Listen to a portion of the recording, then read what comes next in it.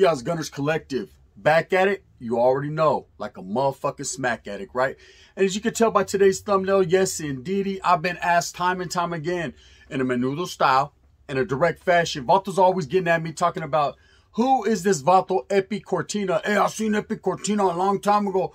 He said he was a captain. He said he ran all Salinas. He said he was fucking this. He said he was that. Well, he lied. Okay? And I'm about to tell you guys the real get down on Epi Cortina uh, to the best of my knowledge, to the best of my recollection, and to the best of realness, right? In a direct fashion, I'm going to tell you like this. Um, they put 2 on the 10 or 10 on the 2. You feel me? And in that fashion. Trip out. Epi Cortina did defect from the NF. He was an NF member. Um, as far as a high-ranking cap captain and things of that nature, Charlie, man, that wasn't the case. You know, I've talked to uh, several individuals that were in the organization, um, past and present. Also, uh, several individuals that knew this Vato from the city of San man, and they all have told me the same thing that Epi wasn't a bad guy, you know. But I think Epi Cortina, what they didn't say in MSNBC was that he had the shortest reign as an NF member in history. Okay, um, the Vato became an active NF member and lasted for all of about two weeks before he defected.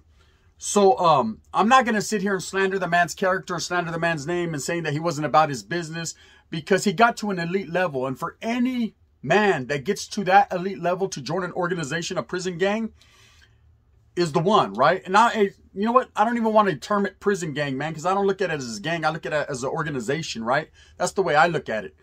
Um, but this, no, this man was not a captain. He was not in charge of doing this and doing that. He might have assisted individuals and, you know, uh, a few things that were going on.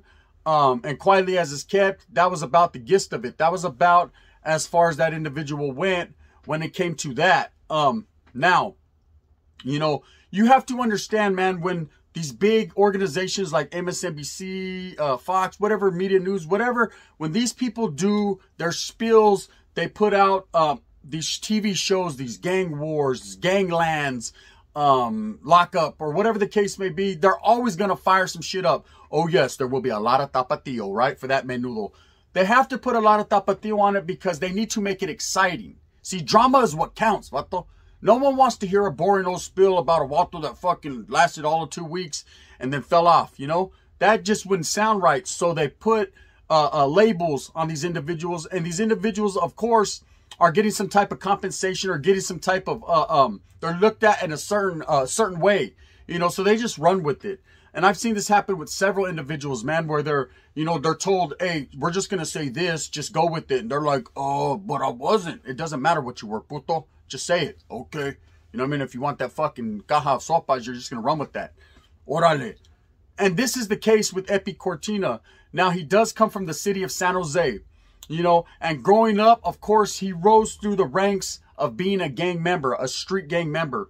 You know, and of course, when you're a gang member, man, you have to be about your situation.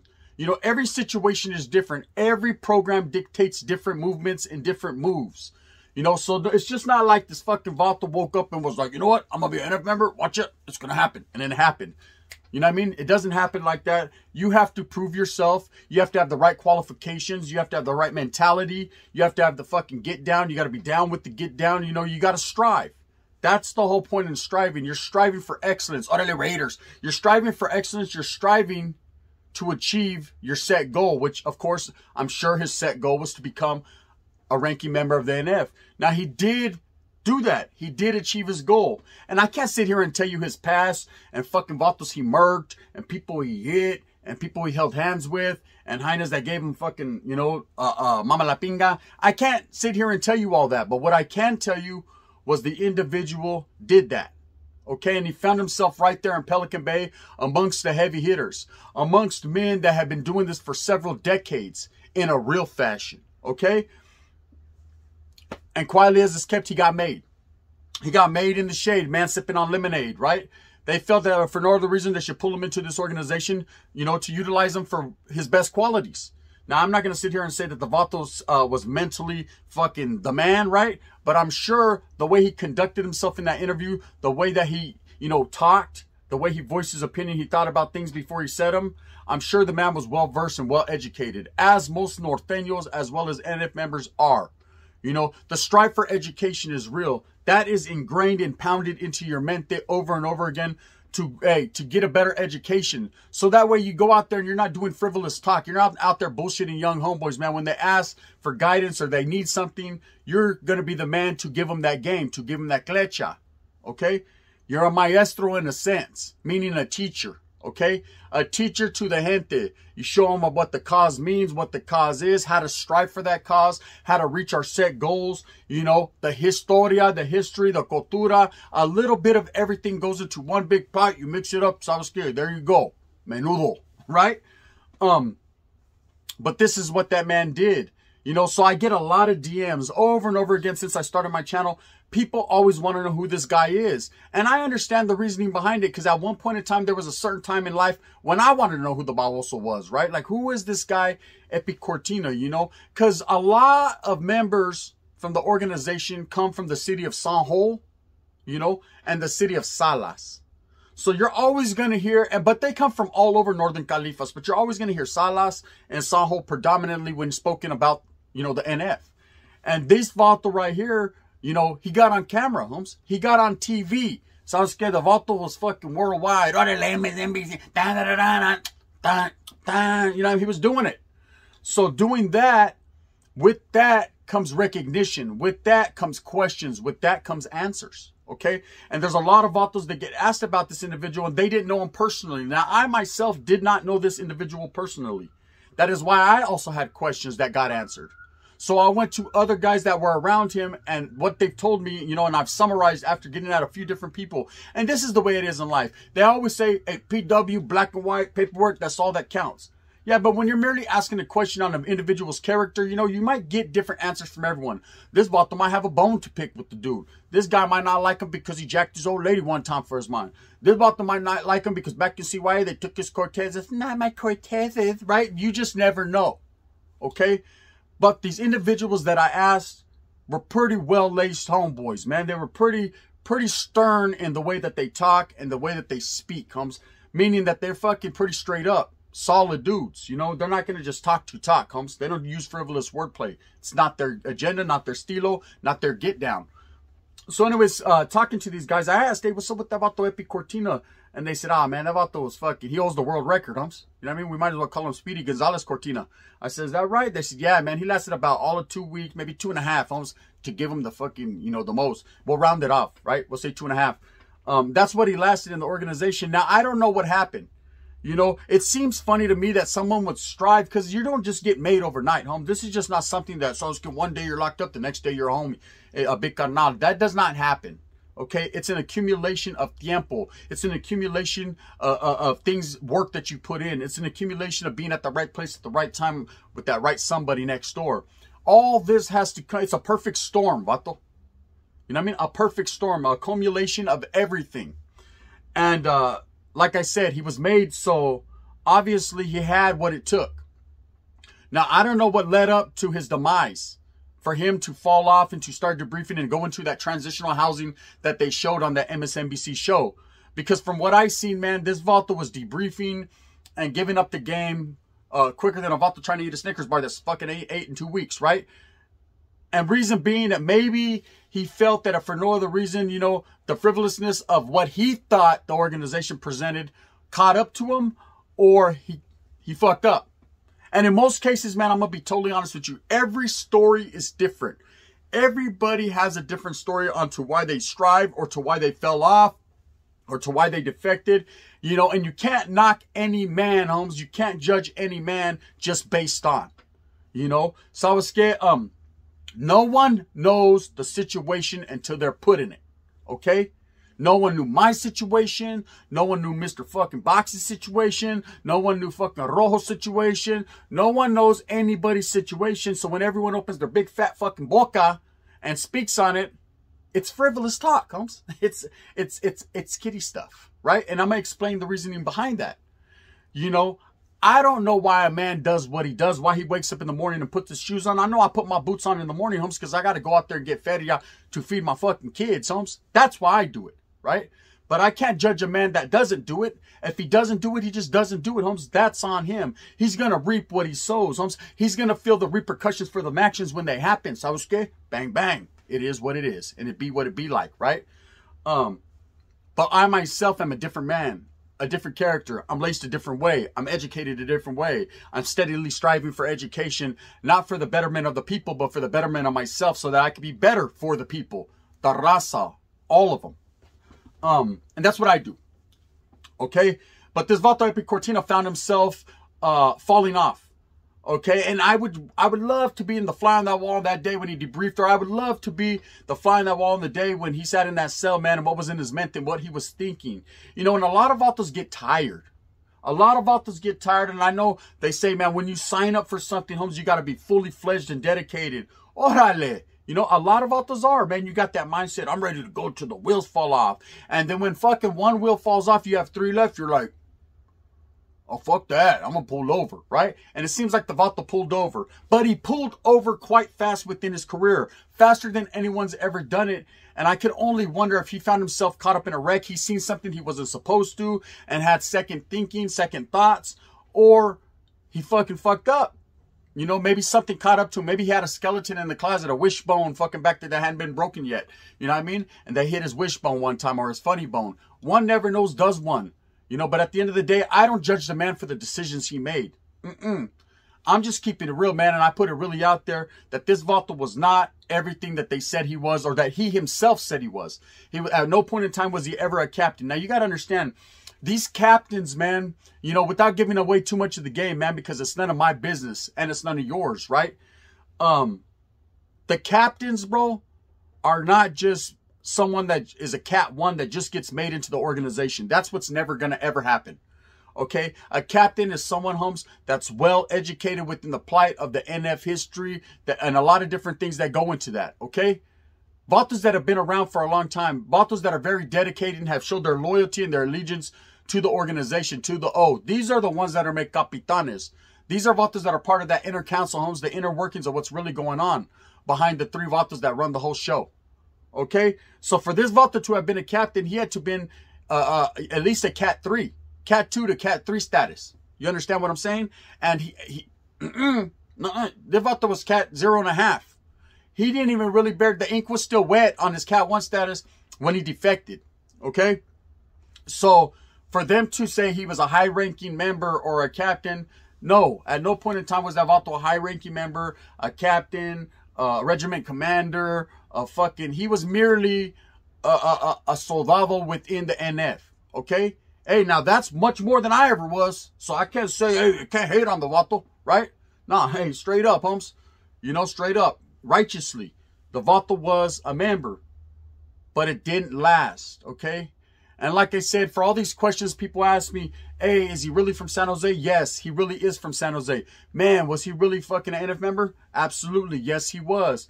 Man, did he really debrief? Watch MSNBC, Holmes. Keep it on repeat. I'm sure that you'll agree. Um, from what I took from that, um, he chose to defect and give up, you know, um, certain aspects of what was going on. Okay. Now, that right there, he knows what that entails. Okay. I also know what that entails. And a lot of people watching this right now knows what that entails. So we're going to leave it at that and leave it at that point right there. Um, he's going to have to deal with that when it comes, if it ever does, you know? You never know, man. He could be out living in Hawaii, man, surfing. I go surfing every week. You never know, right? And then a fucking great white shark can come and bite him in the ankles, and that's a wrap. You know, you just never know how you go. Look at Alpo. But Trip, at the end of the day, man, with all these questions being asked to me about this guy, it's funny because I understand I truly understand the questioning behind this guy. He looks the part. Got the X4 on the eye, the big old whip. You know I mean? The ball fucking head. Uh, he looks like your everyday gang member, gangster, veterano, what you aspire to be or what you think they should look like. But quality as it's kept, they don't always look that way, Holmes. It's always fucking the quiet, skinny, small guy in the back with the glasses, bro, that no one's paying attention to is the run being the puppet master. I'm your puppet. Mm, uh. And it's been like that for many, many years, and there's reasonings behind that, bro. One, you don't become a target. Two, you don't judge a man on his looks. You judge a man by right here, what's in here, okay? And at first, you don't even judge a man, right? No one could judge no one, but you could judge yourself. Only God can judge us, you know, or the mother. That's it. But I just wanted to make this little spiel, rant a little bit, talk a little bit, and uh, put it out there because, you know, people have always asked me, man. They've asked me since I started this channel, hey, what's up with Epi, man? Epi Cortina. And I was like, I don't even know that Bible. So I, I really don't know him like that. But I'll inquire, you know, and I'll start asking. I asked, it took me a while to get to it and people kept asking. And, you know, I don't like to left no question unanswered. I don't like for the people to have to get after me uh, you know, get at me on a DM with the same question over and over and over again and me act like I'm not trying to answer them because I'm for the people, by the people. At the end of the day, man, I want to answer all questions that I am able to answer and that I am willing to answer. There are some questions of ongoing investigation, things of that matter, uh, things that I shouldn't even fucking know, but I just happen to that I ain't going to say shit, vato. Me la pela a la verga when it comes to that. I, I, I no, it's not going to be me. You ain't going to get it from this channel. I'm not going to do that. But at the end of the day, man, with this guy, like I said, I inquired. I asked a few couple homeboys, righteous ones that I know, real ones, and they said, yeah, bro, he was nada. You know, he was, he, like I said, he was just what he was, man. He was just a regular old cat, uh, cat zero. And he made it, and then he slightly faded. And that was it. And so never trust all these books. Never trust all these TV shows, these movies, you know, unless you fucking seen it for your own eyes, Holmes, you got the paperwork right there. It's stamped by the fucking seal of the state of California. Um, a judge signed that motherfucker and the district attorney fucking dripped his sweat on it. It's probably not real. It's probably fabricated. It's probably frivolous, made up paperwork. It probably ain't justified, and it ain't. And the person behind it ain't got the due process enough, man, to uh uh to get his just right, to get his just due. So I don't believe myself, man. I've been laced up long enough to know that fucking I don't believe everything I hear and half of what I see. So that's why I don't stop at stop signs. I don't believe everything I read. Shit, you got me fucked up. You know what I mean? Um, but at the end of the day, you know, I just wanted to answer the questions. I know I didn't answer much about the Vato. I can't give you the history to him. I know he was a young, striving norteño from the city of San Jose doing his thing, righteously so, you know, and worked his way in his career up through the California Department of Corrections to ultimately ending up right there in Pelican Bay and getting pulled as a carnal. That's facts. That is facts, right? What's also a fact is that he didn't last very long and then he debriefed. Where he's at now, I have no way of knowing. If he sees this, Spencer Epi, the truth is the truth, right? Um, and that's just what it be like, bro. Um, at the end of the day, do I think you did anything wrong? Charlie, man, you're your own man. Do what you do, brother. You know, strive for yours. Um, as I strive for mine. I'm just answering the questions that the people have asked. And that's it, plain and simple, period. You know, um, do I think that the Vatos character, um, that this character that they portrayed was what, how all NF members look or how all NF members act? Charlie. You know, you got to understand these big media groups, man, they don't know what real vatos are. You know, they have a, they've seen pictures, they've heard stories, they did a little bit of research on homes, and they can only start, they can only begin to wonder, homes. And they have a picture in their mind of a vato the big old wit with the tattoo on his face. He must be a high-ranking member. Oh, uh, is that right? you know what I mean? Charlie, not all the time. You know, maybe in some circumstances, in some cases, yes. Vatos fit the bill. But not all the time, bro. You know, don't go fucking judging a man by his fucking tinta. Judge a man by the way he fucking presents himself. Period. You know, as a righteous dude. Anyways, man, that's my little spill on Epi Cortina. Too bad, and I am sorry, Dispensa Gente. I couldn't give you much more on the individual, but I am going to answer the main questions, which are Charlie. He never was a high-ranking member at all, period. He never ran no fucking Salas. He never ran Sanjo. He never, he might have been influential. He might have been influential with a couple younger homeboys that knew him. He might have been from their barrio. He might have been fucking making moves for someone on behalf of someone else. You know what I mean? It's so scared. Hey, Epi, I need you to write this wheela, send this gun out, dismissive, get it to the homeboys out here, make it, make that happen. Oh, that's pretty much what he was doing. You know what I mean? That's pretty much right there, dead on it. But as far as him making the necessary decisions, this is what you guys are going to do. And I'm the one, and you're going to listen.